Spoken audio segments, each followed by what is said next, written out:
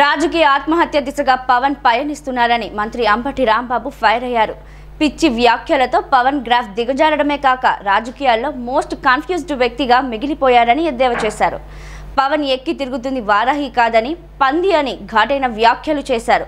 కాపులను మోసం చేసి బాబుకు ఊడిగం చేసే పనిలో దత్తపుత్రుడు ఉన్నాడన్నారు. ప్రధాన ప్రతిపక్షమైనటువంటి చంద్రబాబును మాత్రమే ఎదుర్కోవడం లేదు. చంద్రబాబును ఎదుర్కోవటం అంటూ జరిగితే అది చాలా సింపుల్ అయినటువంటి అంశం.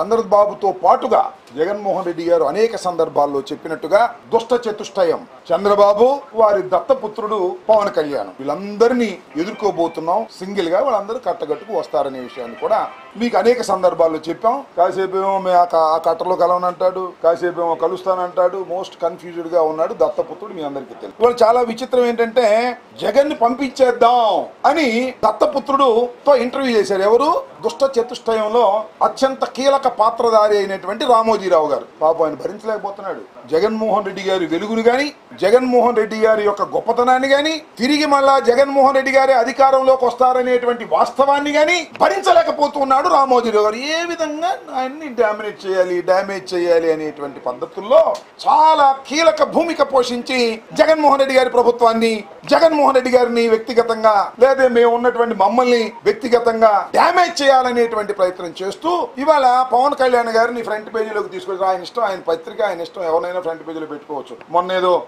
గైడ్ బండ్ కూలిందంటే పాకిస్తాన్కి ఇండియాకి యుద్ధం వచ్చేంత లెవెల్లో గైడ్ బండ్ కూలిపోయింది అసలు సర్వనాశనం అయిపోయింది అనే పద్ధతుల్లో మొన్న రాశాడు ఇవాళేమో జగన్ పంపించేద్దామంట. ఎక్కడ పంపిస్తారు ఆ జగన్ని ఎక్కడున్నారు వీళ్ళిద్దరు? వీళ్ళిద్దరు వచ్చిపోయేవాళ్ళు. రామోజీరావు హైదరాబాద్లో ఉన్నాడు. మరి మన దత్తపుత్రుడు ఇవాళ వెళ్తాడా రేపు వెళ్తాడా? మీకు ఏమైనా ఐడియా ఉన్నా? ఎప్పుడు వెళ్ళిపోతాడు. ఇంకా మూడు రోజుల తర్వాత వెళ్ళిపోతాడు ఉంటాడా? వెళ్ళిపోతాడు. మీ అందరికీ తెలిసిన సత్యం. ఏంది జగన్మోహన్ రెడ్డి పంపిద్దాము? పంపించేద్దాము అనేటువంటి మాటలు ఆయన మాట్లాడుతున్నాడు. ప్రజలు తిరగబడాలంట.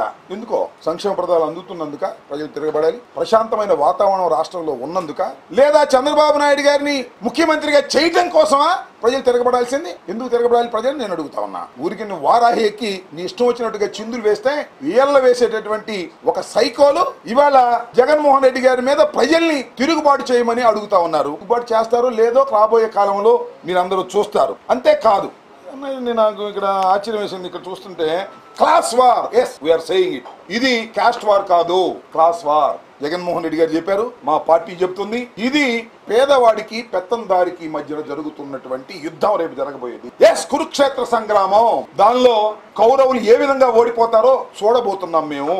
దానికి అంటాడు క్లాస్ వార్ అంటే ఈయనెవరండి? ఈయన చారు ముజిందారా? ఇంకోటి ఏంటన్నాడు చారు ముజిందారా? లేకపోతే తరిమల నాగిరెడ్డ పుచ్చలపల్లి సుందరయ్య ముగ్గురు పేర్లు బాగా తెలిసినట్టున్నాడు. పుచ్చలపల్లి సుందరయ్య గారు. క్లాస్ వారికి కమ్యూనిస్ట్ పార్టీలో వారు క్లాస్ వార్ అని చెప్పారంట అప్పుడు. అందుకని కమ్యూనిస్ట్ థియరీని బాగా వంట పట్టించుకున్నాడు మరి ఈయన. నాకు తెలియకూడదు ఈయన ఏమన్నా చెగువీరనా?